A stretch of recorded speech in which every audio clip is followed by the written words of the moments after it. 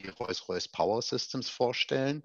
Die Rolls-Royce Power Systems AG, ähm, äh, äh, die Rolls-Royce Power Systems AG ist ein Teil des Rolls-Royce-Konzerns.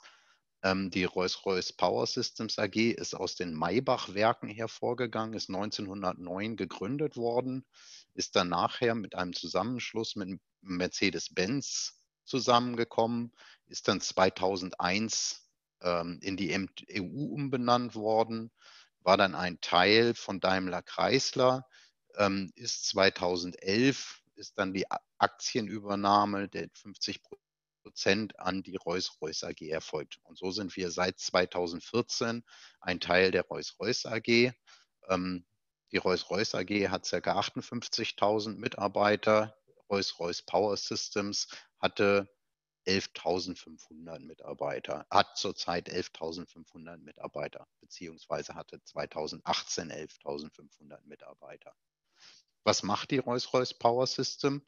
Die Rolls-Royce Power System AG macht Systemlösungen in verschiedenen Bereichen und liefert dazu die Systemlösung mit dem Verbrennungsmotor. Dies bedeutet, wir sind in verschiedenen Segmenten unterwegs. In diesen Segmenten werden unsere Motoren eingebaut. Ähm, die werden dann adaptiert, die Motoren. Wir probieren die Motoren so gleich wie möglich zu haben und probieren dann in den Systemlösungen, die wir bringen, dann die Adaption durchzuführen. Das bedeutet, wenn ich mir das angucke, ähm, wir zum Beispiel in dem Markt der Energieerzeugung. Hier liefern wir wirklich Gesamtsysteme, die dann wirklich auch Strom liefern. Ähm, in Marine und Offshore liefern wir natürlich nicht das ganze Schiff, sondern das ganze Antriebssystem mit der Automation, beziehungsweise bei den Bahnen dann die Motoren, beziehungsweise auch für verschiedene Kraftwerke dann auch wirklich nur Motoren. Also ein sehr diverses Bild an Lösungen, die wir hier liefern müssen. Das probieren wir möglichst mit den gleichen Motoren immer zu lösen. Wenn ich mir das Thema Modulstrategie angucke, ist immer wieder die große Frage, die gestellt wird, wenn man es aufsetzt, was möchte ich denn jetzt machen? Möchte ich wirklich zum Beispiel ein Batched Engineering machen? Das bedeutet das gleiche Produkt, nur mit einem anderen Markennamen.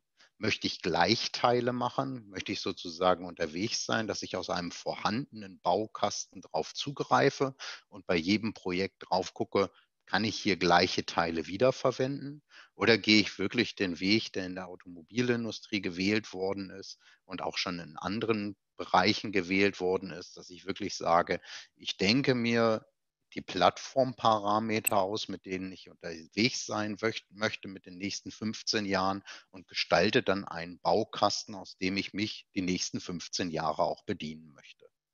Das hat natürlich die Herausforderung, so wie wir es eben gerade gehört haben, dass ich meine Marktsegmentierung auf jeden Fall vorher gemacht haben muss. Wie, haben, wie sind wir das Thema Modularisierung angegangen? Zum Thema Modularisierung sind wir als erstes angefangen und haben eine große Analyse gemacht. In dieser großen Analyse haben wir unsere Produkte analysiert, die wir zurzeit haben. Wo sind denn die Veränderungen gewesen? Das haben wir mit Variantenanalysen, Treiberanalysen, Referenzpunktanalysen, Funktionsanalysen durchgeführt. Und hieraus, aus dieser großen Analysephase, die wir gemacht haben, haben wir dann unsere Plattformparameter abgeleitet.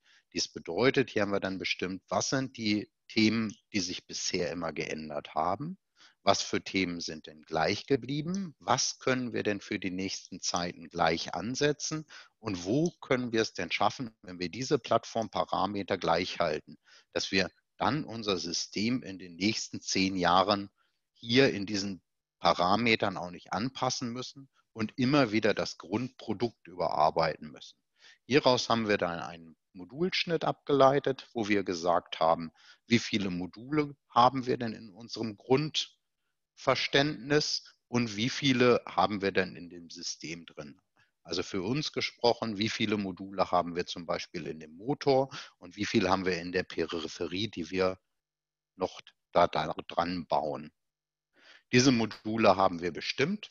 Ich möchte Ihnen das jetzt anhand des modularen Powerpacks einmal darstellen, wie wir denn vorgegangen sind. Eben haben Sie gesehen, wenn ich über das modulare Powerpack bestimme, das ist der äh, Rede, das ist der Antriebsstrang, den wir im Zug abbilden, was unten unter der Bahn eingebaut wird. Und wir sind in die Analyse hereingegangen und wir haben geguckt, was verändert sich denn immer? Wir haben festgestellt, sehr viele Sachen sind gleich. Nein, sehr viele Sachen sind ähnlich, aber es ist selten was gleich. Hier sehen Sie zum Beispiel anhand der Darstellung des, äh, der Abgasnachbehandlung einmal, sie sitzt einmal fast an der gleichen Stelle, das nächste Mal auch wieder fast an der gleichen Stelle, aber es ist immer ähnlich, aber es ist nie gleich.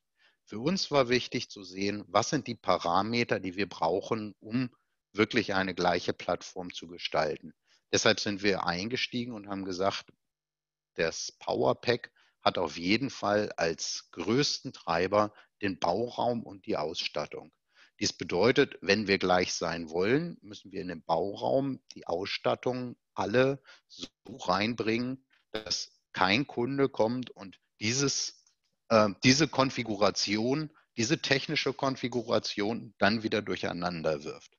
Das bedeutet, wir sind eingestiegen und wir haben geschaut, was sind denn die Kundenanforderungen, die wir zurzeit haben Warum sind denn die 150 verschiedenen Designs, die wir bisher haben, entstanden? Und wie können wir das anordnen, dass wir das wirklich für die Zukunft abbilden können? Beziehungsweise haben wir auch noch weiter geguckt, dass wir gesagt haben, was sind denn die Themen, die wir für die Zukunft auch noch weiter berücksichtigen müssen? Wie zum Beispiel Hybridisierung. Dieses Powerpack gibt es jetzt auch hybridisiert, beziehungsweise ähm, die Abgasnormen, die denn wirklich noch kommen. Wir haben zugesehen, dass wir alle Anforderungen, die wir bisher hatten, beziehungsweise die zukünftigen Anforderungen, dass wir die in die kleinste Fläche reingekriegt haben, dass wir hier auch die Hüllkurve der kleinsten Bahn abbilden. Zum Beispiel das Schienenprofil in England ist das kleinste Schienenprofil. So haben wir dann zugesehen, alle Anforderungen in das kleinste Kunden, äh, in, das, in die kleinste Hüllkurve reinzulegen. Es hört sich sehr schwierig an, das war es aber auch.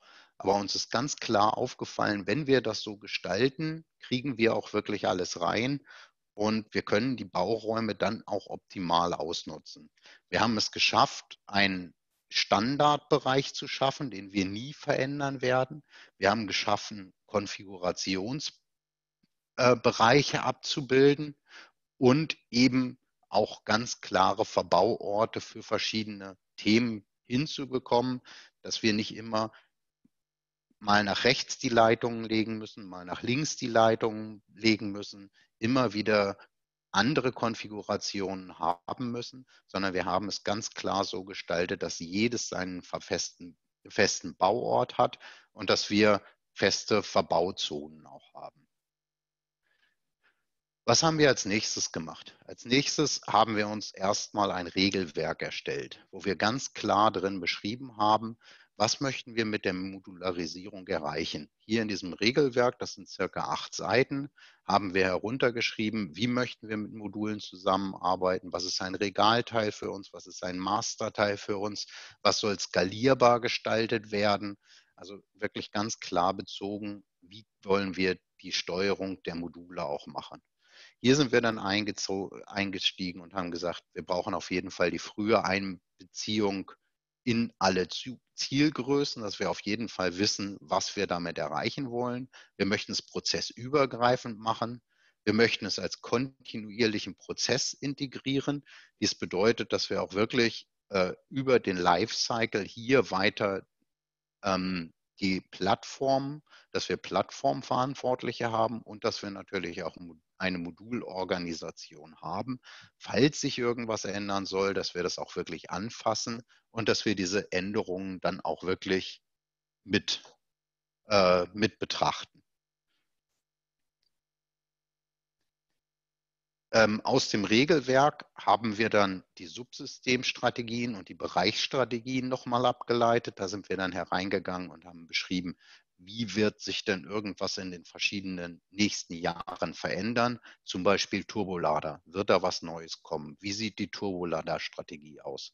und so weiter und so weiter. Wir haben die Bereichsstrategien aufgenommen, dass wir hier auch aus dem Einkauf wussten, was ist denn die Strategie für die Zukunft? Wo möchte man denn hin? Was sind denn Lieferanten, die wir zurück, äh, die wir weiter betrachten wollen? Daraus haben wir dann den Plattformvertrag abgeleitet, haben die Plattformparameter festgeschrieben und mit diesen Plattformparametern sind wir dann von Modul für Modul, also wir hatten 51 Modul, wir haben 51 Modulbücher für den Motor, 8 für das Abgasnachbehandlung und 27 für die Modulbücher, äh, 27 für das System. Hier haben wir dann Modulbücher erarbeitet. Hier sind wir dann eingestiegen und haben gesagt, das sind die Themenbereiche, die wir uns angucken wollen. Hier hat jeder Bereich seinen Input zuzuleisten zu jedem Modul. Wir haben Leitfragen dazu gestaltet und aus diesen Leitfragen haben wir dann Standard-Templates abgeleitet, die zu jedem Modul gezeigt werden müssen. Wir haben dann eine Strategie für jedes Modul erstellt und haben dann das Konzept daraus abgeleitet, wo dann das Modulheft daraus entstanden ist. Das bedeutet, wir haben für jedes dieser Teile nachher ein Modulheft, mit dem wir dann das Ganze steuern wollen. Hier sehen Sie die Analysephase, ähm, mit der wir eingestiegen sind, beziehungsweise auch noch die Strategiephase. Das bedeutet, jeder Bereich hat ein Template zu liefern gehabt.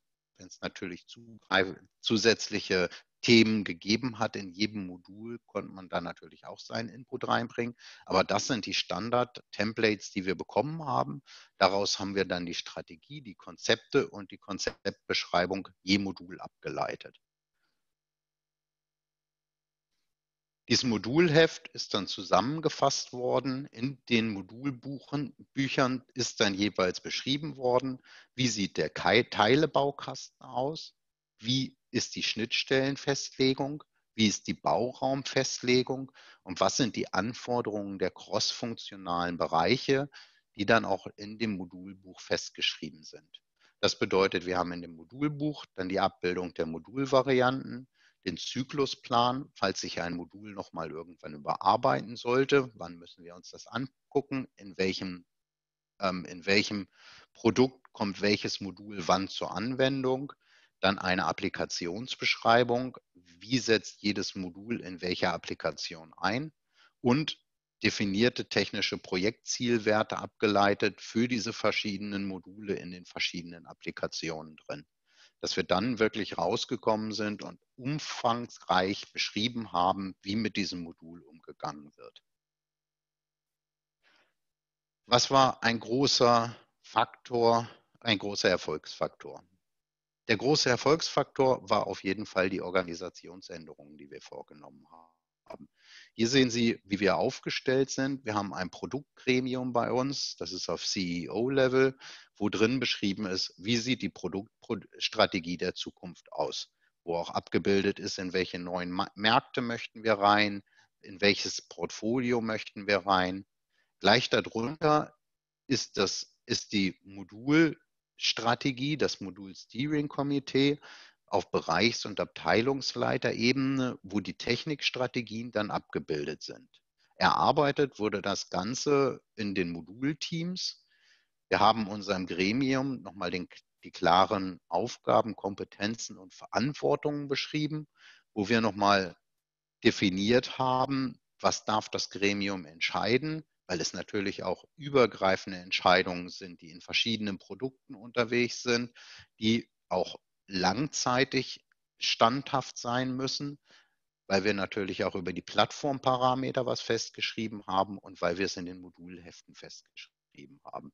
Also gerade die Organisationsänderung war ein großer Hebel, wo wir gesagt haben, hier kommen wir auf jeden Fall, äh, das ist ein großer Erfolgsfaktor und das ist unser Modul Steering Komitee, ist wirklich sehr gut um genau hier richtig reinzukommen und die Technik darüber auch zu steuern.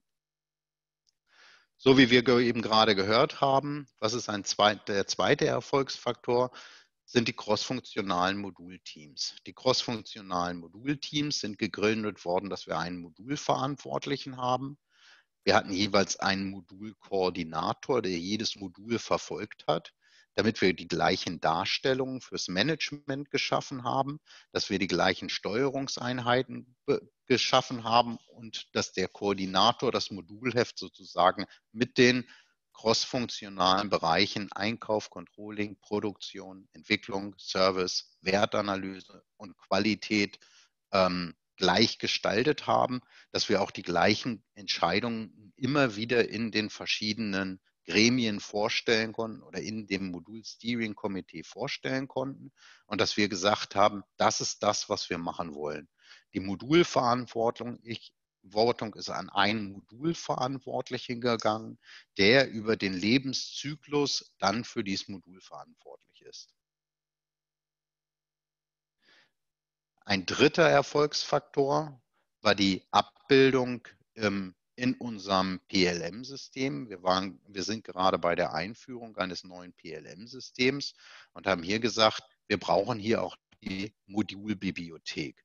In dieser Modulbibliothek sind wir eingestiegen und haben gesagt, erstmal müssen wir beschreiben, wie bilden wir denn die Themen in dem Modul ab? Also wie sieht der Einkaufsladen aus?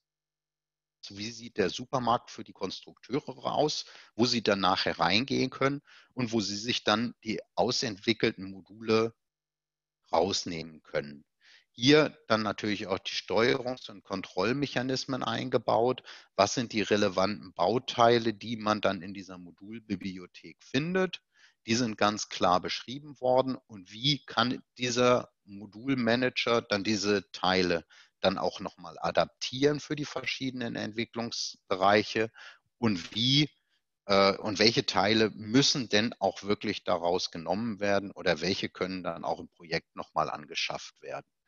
Und dann, wie gehen die denn die Teile dann aus der Modulbibliothek raus und wie werden die dann in Produktstruktur implementiert? Das haben wir in unserem PLM-System beschrieben, haben somit eine Modulbibliothek mit Rollen und Rechten geschaffen, haben ganz klar beschrieben, wie die Teile von der Modulbibliothek Bibliothek in die Produktstruktur gehängt werden können und wie es natürlich dann nachher auch zu einer Anpassung von Modulen kommen kann. Und somit haben wir eigentlich mit den drei Erfolgsfaktoren, wie sieht es in der Organisation aus, wie schaffen wir es, dass einer übergreifend zuständig bleibt für dieses eine Modul und mit der Festschreibung der Plattformparameter und als viertes noch die ähm, Implementierung in ein PL, ins PLM-System haben wir es geschafft, dies hier zu integrieren. Ich habe Ihnen das jetzt anhand des Powerpacks gezeigt. Wir haben das schon für einige, äh, für mehrere Produkte gemacht. Aber ein Powerpack, das so klar kundenbezogen ist, war es einfach sehr gut zu erklären. Deshalb, das war das Beispiel, unser Leuchtturmprojekt, mit dem wir auch los, losgelaufen sind, was wir jetzt auch implementiert haben. Ja, dann vielen Dank für Ihre Aufmerksamkeit. Das war einmal ein Schnelldurchlauf. Das hörte sich jetzt relativ einfach an. Es war natürlich sehr, sehr viel Arbeit, die wir hier geleistet haben, um wirklich hier das ganze Produkt einmal zu modularisieren, Plattformparameter festzuschreiben und zu sagen, so können wir wirklich die nächsten Jahre auf unseren Modulbaukasten zugreifen und dies auch aufnehmen. Herr Kowalczyk, ja, das war ein wirklich äh, super interessanter Vortrag. Also Sie haben sehr anschaulich äh, Ihre Herangehensweisen äh, geschildert. Also das hat äh, mir sehr, sehr gut gefallen. Es sind auch äh, gleich einige Fragen äh, gekommen, ähm, die ich Ihnen auch gleich stellen möchte. Einmal wird gefragt, äh, wie stellen Sie sicher, dass die definierte Plattform PowerPack auch in den Business Units durchgängig verwendet wird? Ähm, das PowerPack ist ja eine, eine, eine eigene Business Unit, die die Integration machen. Ähm, wir haben das mit dieser Business Unit zusammen gestaltet und wir haben zugesehen, dass wir alle Kundenanforderungen aus der Business Unit mitnehmen Und auch hier haben wir die Business Unit eingebunden in dieses cross-funktionale Team und haben mit denen die Anforderungen erarbeitet, dass es wirklich genau das reinkommt in den Baukasten, was sie auch wirklich benötigen. Mhm. Wie gesagt, war beim, war beim Motor dann nochmal was anderes, der ja nicht nur in einer Business Unit drin ist, der in mehreren drin ist. Ja, die Abstimmungsarbeit war schon sehr schwer und es war auch sehr schwer, alle Anforderungen von allen Business Units abzubilden. Ähm, ja, wer hat denn zum Beispiel dann über diese Anforderungen entschieden? Vielleicht sich das auf das äh, Produktkomitee oder vielleicht anders gefragt, äh, ähm, wer war in Ihrer Organisation der Treiber dieser Aktivitäten und äh, wie sah da in dem Zusammenhang die Zeitplanung aus? Also wir vom Produktmanagement, wir von der Produktstrategie, also bei uns ist Produktmanagement und Produktstrategie in einer Hand, das ist eine Abteilung, wo wir auch die Modulstrategie verankert haben. Wir sind zuständig für die Einhaltung der Plattformparameter, so wie wir auch verantwortlich sind für die Einhaltung der Produktstrategie, dass wir hier auch kein Ausscheren der Business Units zulassen, um Anpassungen an den Plattformparametern vorzunehmen. Sind natürlich schon Sachen, wo man sicher bei einzelnen, ein, bei einzelnen Projekten überlegen muss, machen wir hier vielleicht auch einzelne Lösungen. Ja, wir sind auch hier manchmal nicht im Modulbaukasten unterwegs, sagen, dieses Projekt ist für uns so strategisch, hier brechen wir aus dem Baukasten aus, aber wenn entscheiden wir das in der Produktstrategie. Zur Umsetzungszeit ähm, im Powerpack haben wir circa drei bis vier, ja, drei Monate gebraucht, um die Plattform zu finden. Im Motor haben wir circa um ein Jahr gefunden, um die Plattformparameter zu finden. Und die Module haben wir dann äh, seriell entwickelt. Wir haben immer geguckt, was sind die wichtigsten Module, die natürlich zusammen spiegeln müssen. Wir konnten auch keine 70 Module gleichzeitig entwickeln. Es waren immer so um die 10, 15 Module, die wir uns angeguckt haben. Sicher beachtlich, ja. Ähm, jetzt eine, äh, eine andere Frage. Ähm, können Sie ETO-Anteile komplett ausschließen? Wenn nicht, wie viele Anteile können Sie von ETO auf CTO transferieren? Ähm, was meinen Sie mit CTO? Normalerweise steht diese Abkürzung für Chief Technical Officer, aber ich äh, bin mir unsicher, welch, äh, was genau äh, Herr Sen ähm, damit gemeint hat. Ähm, er hat nochmal die Chance, äh, das vielleicht ein bisschen zu spezifizieren. Ja. Ähm, es gibt noch eine andere Frage. Ähm, legen Sie das Datenmodell, äh, die Regeln der Module in dem neuen PLM ab? Ja, Configure to Order, alle gemeint, natürlich. Ah, okay. Also das ist noch eine große Herausforderung, die wir haben. Wir möchten natürlich alle Konfigurationen, wir, wir möchten äh, das PLM-Tool nutzen wir auf jeden Fall zur, technische Konfigur zur technischen Konfiguration. Wir haben aber auch noch einen Konfigurator darüber sitzen, der die vertrieblichen Konfigurationsregeln enthält. Mhm. Also wir arbeiten hier auf zwei Ebenen. Ja, die technischen Konfigurationen bilden wir in unserem PLM-System ab mhm. und die vertrieblichen äh, nochmal in unserem Vertriebskonfigurator. Ähm, die nächste Frage. Können die Modulschnittstellen regelbasiert beschrieben werden? Die Frage geht weiter. Ne, äh, gibt es Bedarf auf Basis dieser Modulregeln, die Kompatibilität der Module und daraus abgeleiteten Konfigurationen zu validieren? Wo es möglich war, haben wir das probiert. Das Schnittstellenmanagement war ein ganz schwieriges Thema, was wir angegangen sind. Ähm, beim Powerpack haben wir es noch sehr gut gelöst bekommen. Im Motor war es schon sehr schwierig. Trotzdem sind natürlich auch sehr viele Sachen, weil wir natürlich ein sehr technisches Produkt haben, die sich ergeben müssen. Wir sind bei allen Modulen eingestiegen und haben versucht, alle Schnittstellen untereinander abzustimmen und hier ein regelbasiertes Modell zu haben, dass wir auch die Schnittstellen hier abbilden können. Also haben wir gemacht, ja. Wir haben, haben hier die Schnittstellen jeweils zwischen den Modulen zu äh, beschreiben. Die Herausforderung war natürlich auch, dass wir nicht alle 70 Module gleichzeitig machen konnten. So ist es dann natürlich schon dazu gekommen, dass wir in dem einen oder anderen noch nachbessern mussten. Was waren denn die größten Herausforderungen? Also die größten, die größten Herausforderungen sind auf jeden Fall immer die Plattformfindung. Das ist natürlich gerade die Abstimmung ähm, mit dem Produktmanagement. Das war das sehr Gute, dass wir das natürlich selber gebildet haben. Äh, das waren die Abstimmungen, was sind die Plattformparameter, die gleich bleiben können. Da war das Gute, dass wir uns auf eine große Ist-Analyse stürzen konnten und sagen können, das haben wir schon 30 Jahre so gemacht. Dann natürlich die Unsicherheit mit der Zukunft.